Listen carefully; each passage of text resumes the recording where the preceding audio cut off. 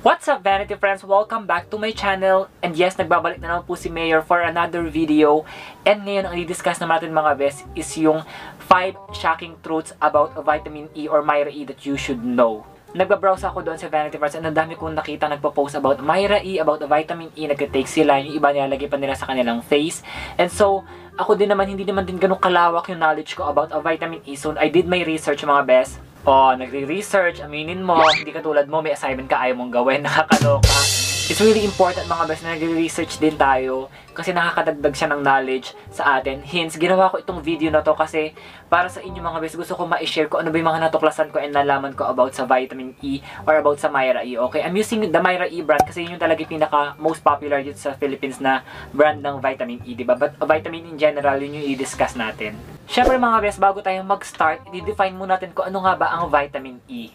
Vitamin E mga best is a group of 8 fat-soluble compounds including 4-tocopherols and 4-tocotrenols. Vitamin E mga best is an antioxidant so meaning to say na poprotektahan niya yung ating mga cells and yung mga DNA nito laban sa mga free radicals. So ngayon mga best, na alam nyo na kung ano nga ba ang vitamin E, alam nyo ba, it's really really important. I think ha, I personally think and based on my research, it's really an amazing vitamin mga best para sa ating health, pero you really have to think twice mga best in case gusto mo mag-take ng vitamin C supplement katulad ng Myra E. And here are the reasons why. Number one, vitamin E mga best is a fat-soluble vitamin. Okay? So katulad ng nabanggit ko kanina, yes, fat-soluble po ang vitamin E. Hindi siya katulad ng vitamin C na water-soluble. Okay?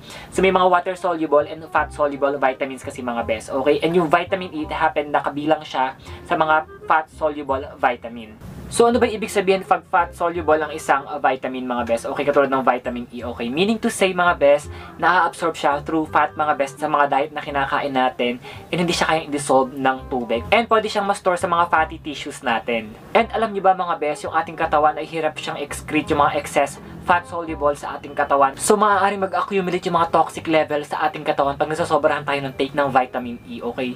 So you really have to think twice mga best kung kailangan mo ba talagang mag-take ng Myra E or ng vitamin E supplementation. And speaking of, yung number 2 naman natin mga best is not everybody needs vitamin E. Yes, hindi mo naman talaga kailangan mag-take ng vitamin E supplementation, okay, ng supplementation. That's what I mean. Alam nyo ba na sa pagkain lang natin araw-araw mga best, may mga vitamin E na tayo nakukuha. So hindi mo na talaga kailangan mag-take ng vitamin E supplementation para mapunan yung mga vitamin E na pangangailangan natin. So katulad na lang ng mga vegetable oils, rich yan sa vitamin E, mga nuts, katulad ng almond, peanut, and hazelnut mga best, very rich yan sa mga vitamin E.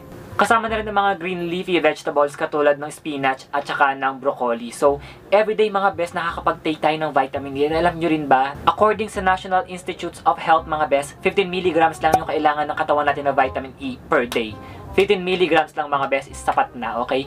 15 milligrams lang sapat na, ikaw lang sapat na. Charot! So, kita nyo mga best, sa mga pagkain na kinakain natin araw-araw, nakakakuha na tayo ng vitamin E and maaaring baka nga sobra pa, especially kung mahilig ka nga sa mga green leafy vegetables mga best and sa mga prutas. And usually mga best, ina-advise lang ng mga doctors na mag-take ka ng vitamin E supplementation if you have a vitamin E deficiency, okay? Pag nagkukulang ka ng supply ng vitamin E, and sila lang din makakapagsabi niyan kung nagkukulang ka na ba, hindi ikaw, okay? But everyday rest assured mga best, sa mga diet natin, nakakakuha na tayo ng vitamin E na kailangan natin per day. So, you don't have to really take yung mga vitamin E supplement katulad ng Myra E kung hindi mo naman talaga kailangan, okay? It's still best to consult your doctor kung kailangan mo mag-take niyan. Pero kung hindi, kung wala kang may ibang nararamdaman, huwag ka na mag-take ng Myra E mga best kasi it's a extra gastos lang para sa atin kung hindi mo naman talaga siya kailangan. Pero hindi ko naman sinasabi mga best na talagang kalimutan na natin ang Myra E. Okay, of course maganda ang Myra E pa- para sa mga taong uh, may vitamin E deficiency, okay? Number 3 mga best na fact about vitamin E is pwede siyang makakos ng stroke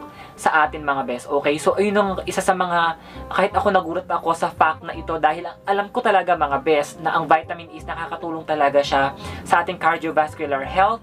Pero um, to my surprise, sa research na ginawa ko, I checked a lot of websites about this and talaga mga best, yung um, pagte-take ng too much um, supplementation ng Myra E or ng vitamin E in general is talagang pwedeng magkakakos siya ng stroke sa atin. According sa World Health Organization mga best, nag-conduct sila ng study sa USA mga best na ang vitamin E mga best, wala talaga silang cardiovascular benefit para sa ating heart mga best as in talagang wala. So, Hindi totoo mga best na pag ng vitamin E is mas gaganda yung performance na iyong heart. Marami siyang benefits na makukuha from it.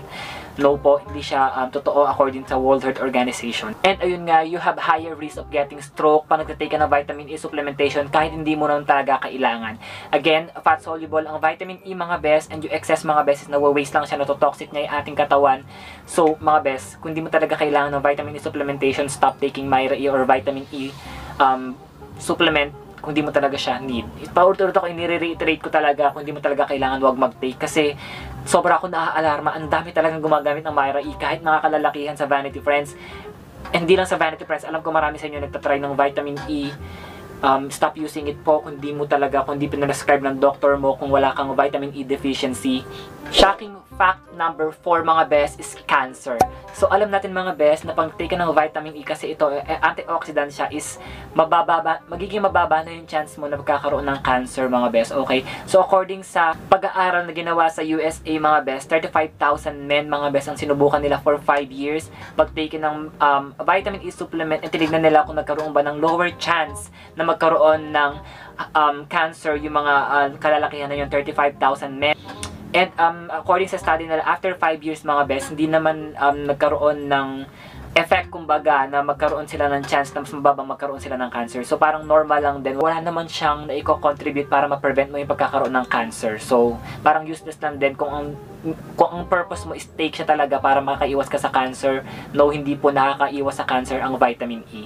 And, in fact, ito pa ang nakakashock. Ito ang pinaka nakakashock mga best, okay? Sinundan nila yung study na yan noong 2011 mga best. And, na-discover nila mga best na mas higher risk ka pa nga sa pagkakaroon ng prostate cancer, especially pag sa mga kalalakihan, kung nagtitake ka ng vitamin E supplement, kung nasosobrahan ka sa supplementation ng vitamin E, mas mataas yung uh, risk mo magkaroon ng cancer. So, ayun ito ay based lamang sa mga facts and studies na ginawa sa pagre-research ko mga best. Okay, so, ayun, ingat-ingat lang tayo mga best, especially kung lalaki ka at nagtitake ka ng Myra E or vitamin E supplement.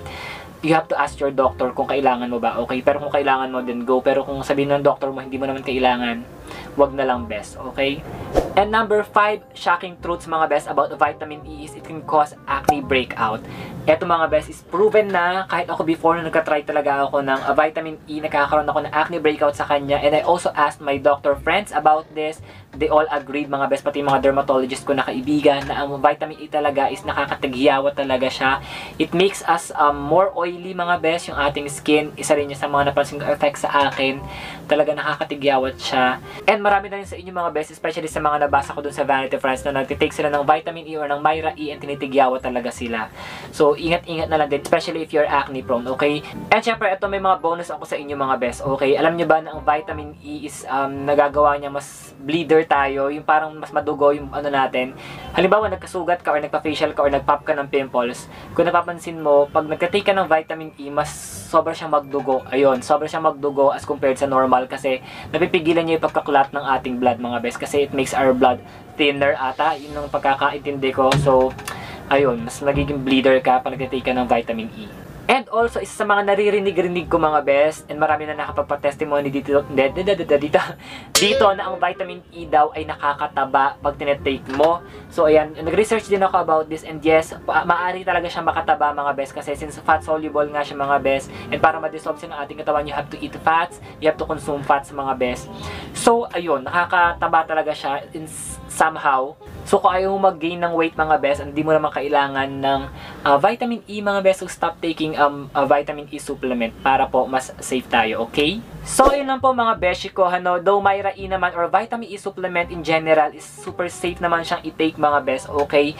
Itong mga point na diniscuss ko sa inyo is sobrang paggamit lang ng vitamin E. Pag hindi mo kailangan, pag sobrang-sobra yung supply mo ng vitamin E supplement mga best, hindi na siya maganda para sa atin, okay? But in general, it's safe to use mga best. But you have to consult your doctor first kung kailangan mo mag-take ng vitamin E supplementation. Hindi, hindi siya katulad ng vitamin C na yung sobra iihi mo lang kasi water soluble lang siya, okay?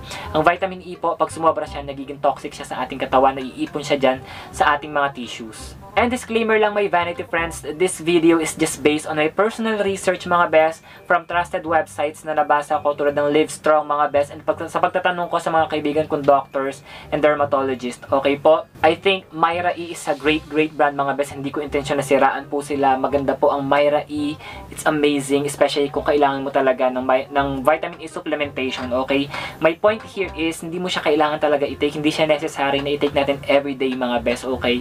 Pag kailangan mo lang siyang i-take, kailangan mo lang siyang i-take if you have vitamin E deficiency. And sino ba yung makakapagsabi niyan? Yung doctor mo. Okay, huwag tayong mag-self diagnose mga best na porket lagi kang puyat or porket lagi kang nahihilo, porket maputla ka, may eye bags ka, is feeling mo kailangan mo ng vitamin E para mabawi yun. No po. Baka mamaya sa iron ka kulang, 'di ba?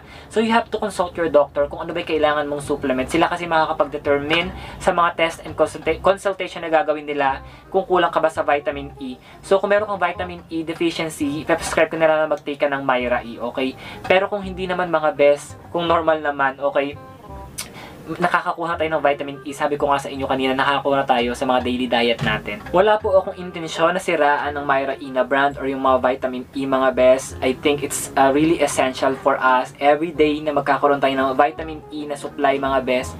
Ito po ay based lamang sa mga facts and research na ginawa ko, okay? And hindi ko nabanggit dito lahat ng facts, mga best and benefits ng uh, vitamin E para sa atin, mga best. So kung may alam ka, please uh, let me know sa comment box. Share mo dyan para makatulong tayo sa iba nagbabasa ng comment, mga best, okay?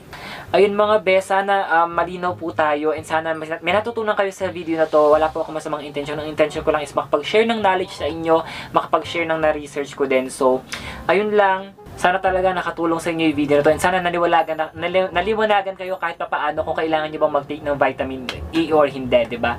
Maraming maraming salamat my vanity friends. Kung nagustuhan mo yung video na to, don't forget to subscribe and like it.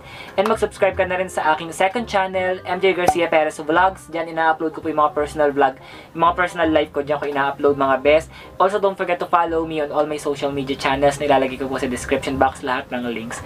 Maraming maraming salamat my vanity friends. God bless us always and see you on my next video. You guys are really, really awesome. Bye!